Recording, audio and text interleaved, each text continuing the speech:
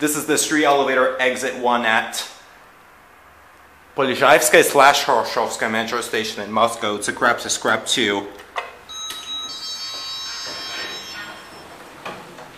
Minus one.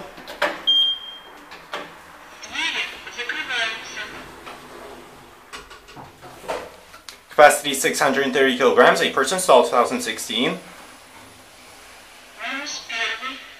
Yes, it's all dusty because I think it's open today. This exit 1 to 4 on their pass, back up to 1.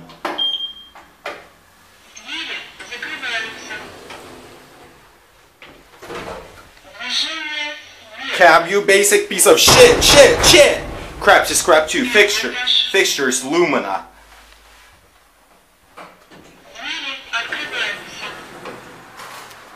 Wash your clothes.